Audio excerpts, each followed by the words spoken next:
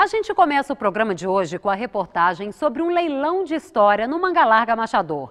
Pela 31ª vez, de forma consecutiva, o leilão La Glória repete o sucesso em vendas de embriões e animais. O evento foi realizado na Fazenda Salgada, em Itaperuna, Rio de Janeiro. Parte das cotas de um dos principais reprodutores do momento foi colocada à venda. Confira. Onde surgem os novos criadores da raça? Onde surge uma paixão? Às vezes, a resposta para essas perguntas é a mesma: dentro de casa. Eu acho que isso aí é, é genético, né? Eu acho que vem no DNA de cada um. Eu acho que quem nasceu para gostar de cavalo, né, já vem, já vem pelo DNA. Também tinha necessidade de fazer um trabalho meu, né? E aí por isso que nasceu o L2. E aí o papel de pai é sempre apoiar o filho, né? Então, é, como na nossa família eu tenho mais uma irmã, né? Só que eu gosto mais do que ela, então acho que o papel dele ele fez que é me incentivar. Foi desse incentivo que surgiu um dos leilões mais tradicionais da raça. Todo negócio se procura ver a, é, a parte comercial, né? mas não é o que mais motiva, sinceramente, não é o que mais motiva é mais essa parte de confraternização, de união, né? de amizade com as pessoas, de você poder receber esses amigos na sua fazenda. E essa aí eu acho que é a maior motivação do, do Leilão La Glória. Um dos motivos do sucesso das 31 edições do Leilão La Glória é a valorização dos profissionais que trabalham no Aras. Tem 35 anos que eu trabalho com eles, então eu me sinto já da família, tá certo? Então o Leozinho é um cara que, assim, que eu podia fazer para ajudar, eu estou fazendo. E eu sei que eu posso contar com ele, e tanto é que ele sabe que ele pode contar comigo. Começamos os trabalhos com o leilão de embriões, óvulos e coberturas. Tem vários embriões de éguas maravilhosas, éguas e com certeza podem contribuir em muito o plantel de, de todo mundo abraço de boa sorte entre avô e neto antes da apresentação dos 34 lotes ofertados. Embrião de atrevida caxambuense em El Negro da Cachoeira. O remate foi finalizado por 30 parcelas de... 2.500, liberou, liberou, e vendido. Eu sempre acredito no, no cavalo. O cavalo Mangalaga Machador é uma paixão, e essa paixão vão morrer com essa paixão. Paixão que motivou o criador Marcos Eli, do Rio de Janeiro, a adquirir de longe o embrião da melhor égua do ano de 2016. Vaidade da Santa Esmeralda em Galante do Expoente, por 30 parcelas de R$ 2.500. Parabéns, Marcos, pela compra. Um prazo, obrigado de valeu. Obrigado, governador, por ter cedido, tá? Valeu, parabéns. Noite finalizada com sucesso e 100% de vendas. No dia seguinte, o leilão de animais prometia repetir o resultado favorável.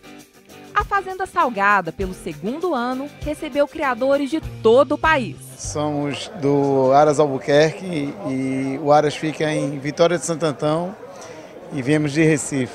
E esse esforço de vir para o Recife para mim é mínimo a alegria de estar junto deles é maior ainda. Isso é que foi mais importante. Todas as regiões do país contribuíram para a criteriosa seleção da tropa. A seleção é primordial para qualquer leilão. Realmente o sucesso do leilão assim, vamos colocar 80% é a seleção dos animais. Tropa que foi vista e admirada pelos convidados durante o dia. Então, égua novinha, né? Mas já ganhou alguns títulos, ela está prontinha, bruta de cela. Porque à tarde, essa prometia. O primeiro lote já surpreendeu e emocionou comprador, leiloeiros e convidados. Atual melhor égua do Brasil, de raça e de massa, Reitor Alfar. E lembrando que não tem comissão, né, Paulinho? Não tem comissão e é exatamente para a gente fazer o bem, para a gente continuar vendo o sorriso na, no rosto de tantas crianças, tantas pessoas que necessitam, a gente continuar essa grande obra. E lágrimas de felicidade nos olhos da família Marchador. O embrião da campeã nacional Reitor Eufar foi adquirido por 30 parcelas de R$ 3.500. O valor será doado para o Hospital do Câncer de Muriaé, Minas Gerais. A sensação aquela que a gente não consegue se conter. Denis, começou o leilão fazendo uma boa ação, adquirindo o embrião de uma campeã nacional. Qual que é a sensação? Olha, primeira sensação maior foi ver que a iniciativa foi do. Ele está emocionado. Eu fico muito feliz em poder ajudar com pouco que a gente pode, mas a iniciativa foi do meu filho. Você, por que você teve essa iniciativa? Para tentar ajudar sempre, né? Tem que tentar ajudar pouquinho que a gente pode, como meu pai disse. Então eu fiquei, falei, não, esse tem que ser nosso e realmente foi. O lote seguinte arrancou aplausos e lances dos convidados. Sabatini, OH General! Metade da égua castanha foi adquirida pelo Arazel por 30 parcelas de R$ 6.600.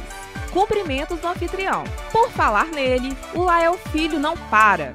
Ele fala, ouve, demonstra ansiedade, abraça os amigos e tira foto com todos os criadores.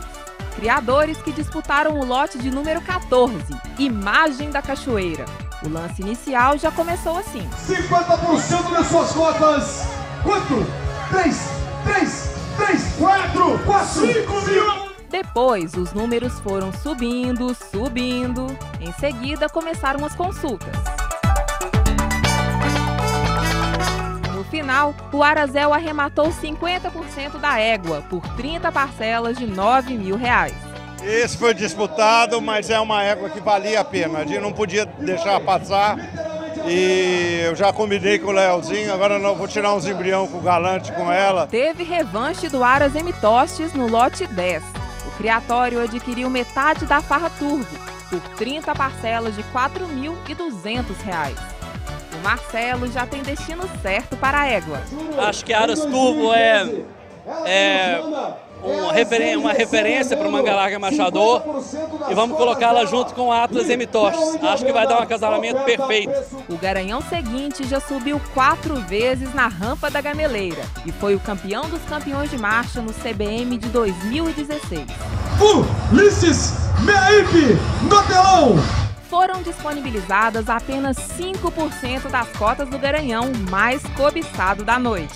E esses 5% dão direito a 10 coberturas anuais não vitalícias. Então, a pessoa comprando 5%, ela fica dona de uma parte, logicamente, e com o direito de usar essas 10 coberturas. No caso do Ulisses, aí, é, quem define isso é o dono do cavalo, é o vendedor, né? Quantas coberturas anuais que o, o, a pessoa, o comprador, vai poder utilizar com a porcentagem que ele tem. O sortudo que se tornou sócio do animal por 30 parcelas de 9 mil reais foi ele. Ou melhor, ela. Está aqui Roberto Martins, parabenizando aqui, dando de presente para Josélia. Aras Martins, Rodeiro, Minas Gerais, bote palma, leilão! Parabéns, grande compra! Toda a vida nós gostamos do cavalo, né? E a gente mexe. Só vou dar presente pra minha esposa que ela merece mais do que isso. E aí, gostou? Ficou satisfeito? Eu acho que é um presente que toda mulher gostaria de ganhar, né? Ulisses é a realização de um sonho. E vai somar muito para o nosso Aras, com certeza vai acrescentar muito no nosso plantel. A 31ª edição do Leilão La Glória comercializou mais de 4 milhões de reais. Olha, a família Lael, a família La Glória, a família Cachoeira, esse pessoal são apaixonados pelo cavalo, 31 anos fazendo o melhor do leilão, o melhor da genética, o melhor da seleção. E convidando todo mundo agora para a gente ir para a Nacional, né? Tá na hora, né, Daniel? Tá na hora, 17 a 28 de julho, ó, esperando todo mundo lá, hein, gente. Vamos curtir o nosso melhor, que é o cavalo Mangalaca Machador na Gameleira. Para fechar, música sertaneja, alegria e uma certeza. Ano que vem tem mais.